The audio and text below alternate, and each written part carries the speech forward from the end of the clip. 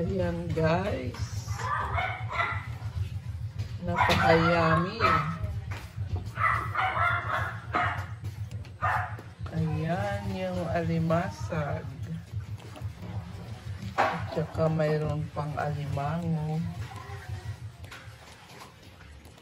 Napakatataba po. Ang sarap na ginataan.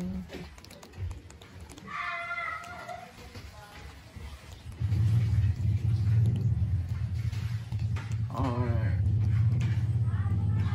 with oyster and sotanghon.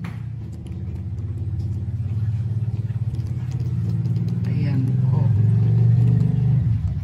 Yan po ang magandang luto dyan.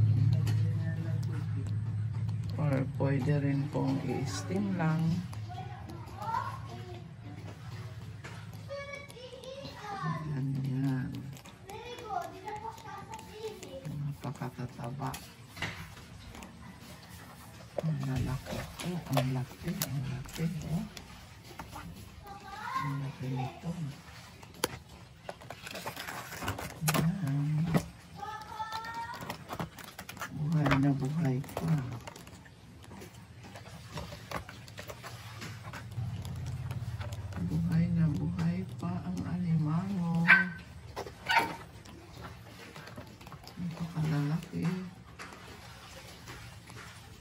Dito po to sa anong diwan. Sa Kampulong. Ganito lang karami ang nahuli nila dahil masama nga ang panahon.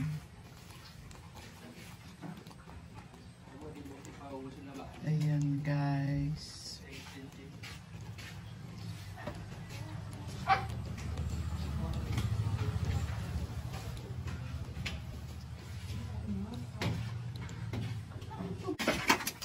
Ayan na guys. Ginisa. At ginataan.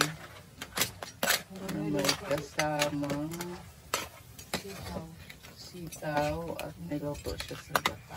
Yan ang ulam namin ngayong tanghali. guys. Yan ang tanghalian. Wow. Napakayami.